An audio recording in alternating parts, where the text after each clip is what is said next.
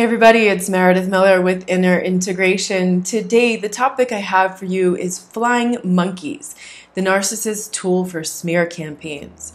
So, I want to talk today about the role of flying monkeys, about who can become flying monkeys, how the narcissist recruits flying monkeys against the target. Why does the, the narcissist use these flying monkeys? And then I'm going to give you a mini survival guide for dealing with flying monkeys. So, first of all, flying monkeys are also known as the narcissist entourage. They're known as their accomplices. They're known as their enablers. They're known as the extension of the narcissist. And it's also like they're, they're campaign managers. They're out there, you know, recruiting other people, kind of in a way like religious people might knock on your door and try to recruit you into their religion. They're trying to convert you into the religion of the narcissist, which is reality by the narcissist.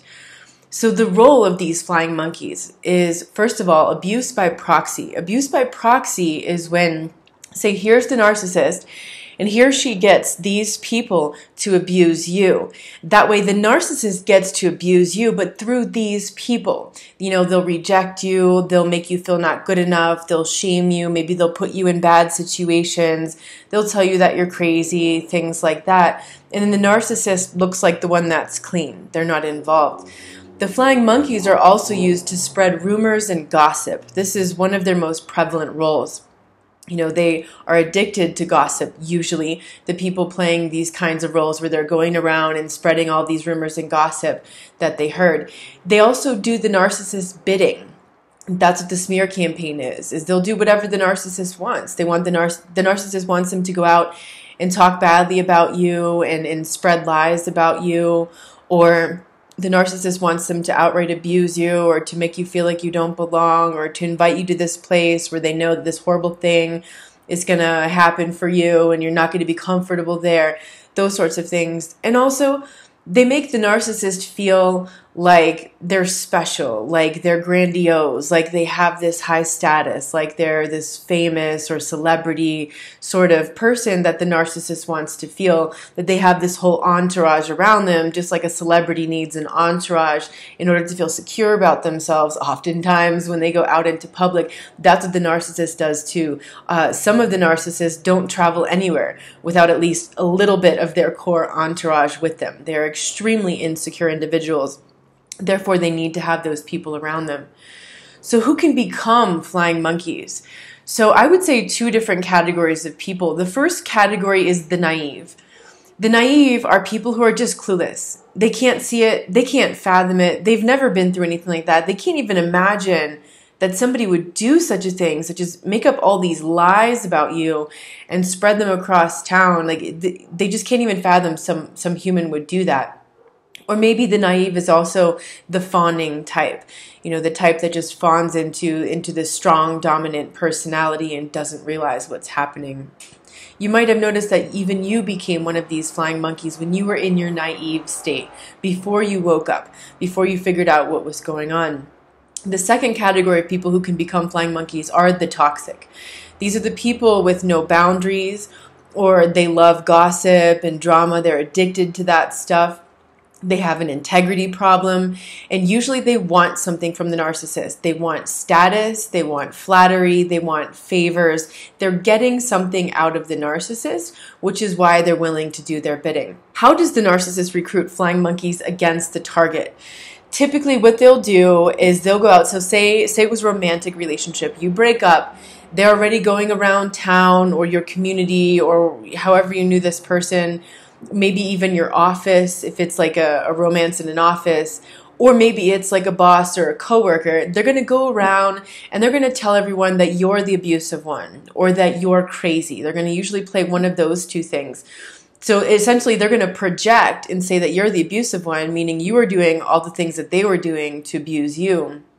Maybe they even call your family members and they try to convert your family members. Or maybe this is even happening in your family the narcissist is within your family and other family members are being used for this purpose. And so the narcissist is going around telling people that you're the abusive one, that you're the narcissist, things like that.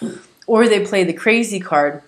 Abusers love to call you crazy when you figure out what's going on because they have to discredit you. So if they don't go around and tell everybody that you're crazy, people might believe you. So when the narcissist tells you that you're crazy, that should set off an alarm bell for you to recognize that's a smear campaign. That that's a clue that they're going to go do this smear campaign. So they're also going to play the role sometimes, especially more women narcissists and men. They're just concerned about you, you know. They're concerned about your health, like information that was none of anybody's business that you didn't want out there. Or uh, this happened to one of my clients. His wife started telling her family and their friends, their mutual friends, that he was drinking a lot, and he wasn't. And she started telling them that he had some kind of alcohol problem, and he overheard this conversation. They'll spread these kinds of things about you, or maybe they find out that you went on an antidepressant and so then they run their mouths and tell everyone how they're just so concerned about you, that you're so depressed, and this and that, these kinds of things. Um, they basically, it's it's an incredible betrayal when they reveal something that really happened to you, or it's a total lie and they're making something up just to pretend that they're concerned about you and your mental health or whatever that is. But essentially, what they're doing is you know, the narcissist spins this web of a false reality and casts this out among this group of people. And then people subscribe to that reality. It's like they become engulfed into that web of a false reality that they think is very real because the narcissist has, you know, these very false, but it looks like enormous amount of energy and emotion that they have about this. It really seems like it could be true to a certain point, especially to people who just don't know.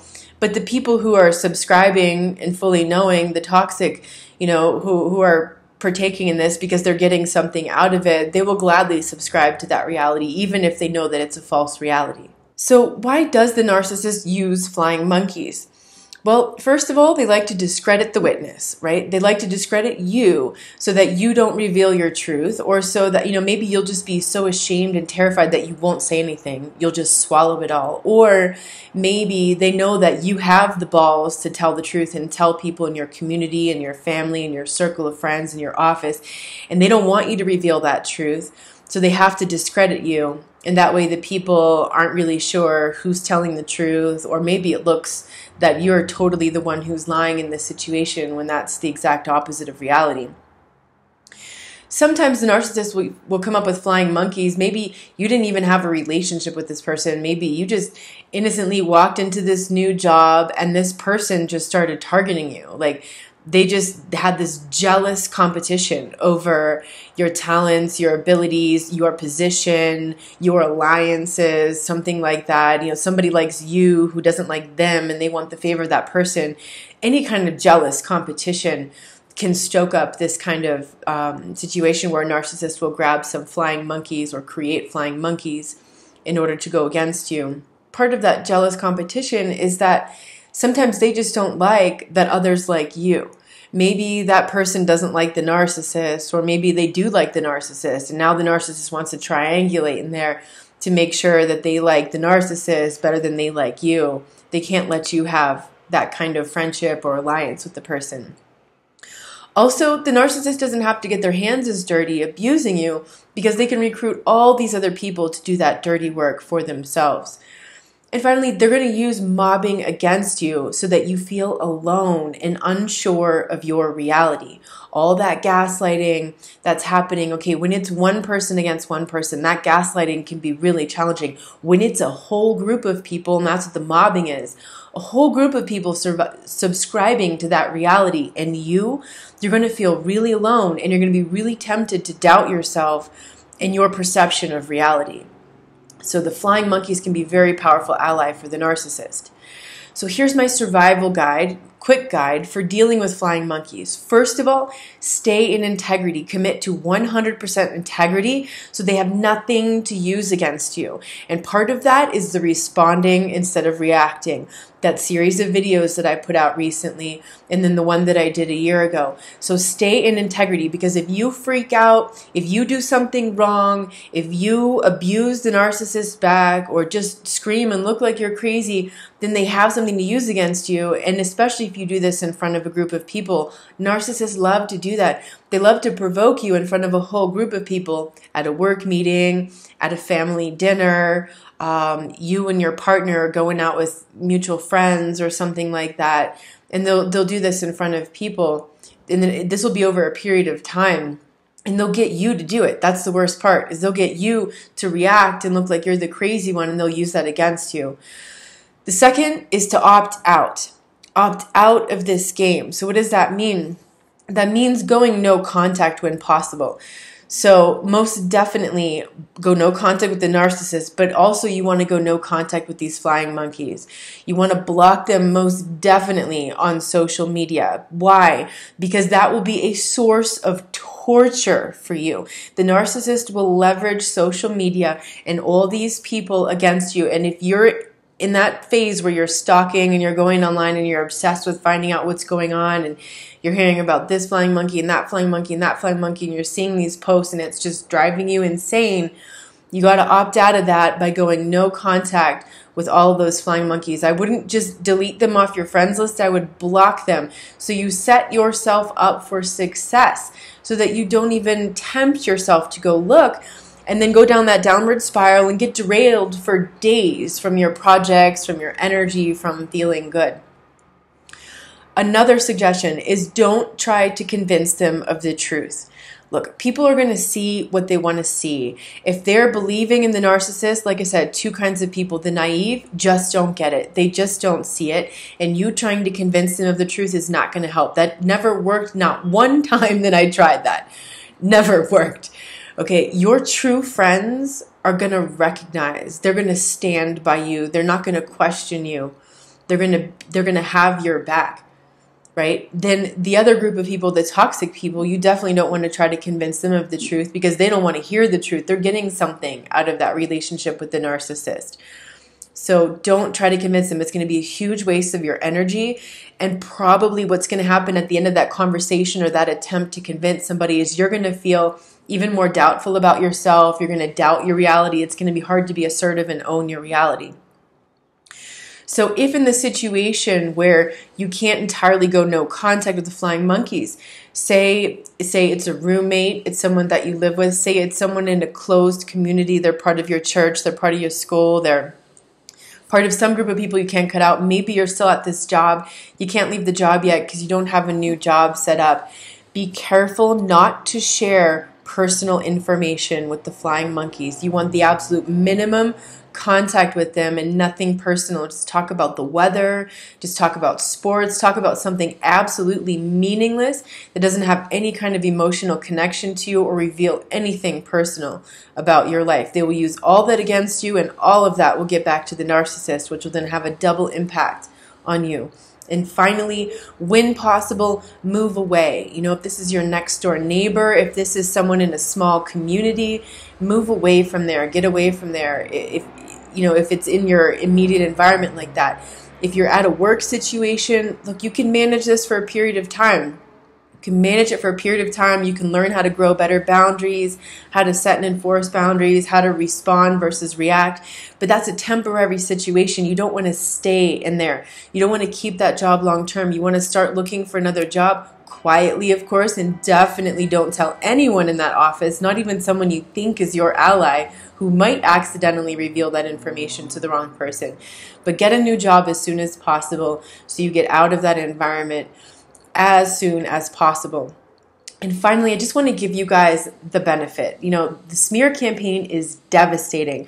Dealing with flying monkeys is horrible. Like, there are a lot of people, I'm sure, who have committed suicide because there was this whole group of people against them and they just felt so invalidated, so alone, so deeply doubting of themselves. They couldn't find a reason to go on. They didn't find a way out. They didn't know what was happening the benefit of this, the benefit of the horror of this whole experience is that you learn who your true friends and allies are. and maybe you didn't know.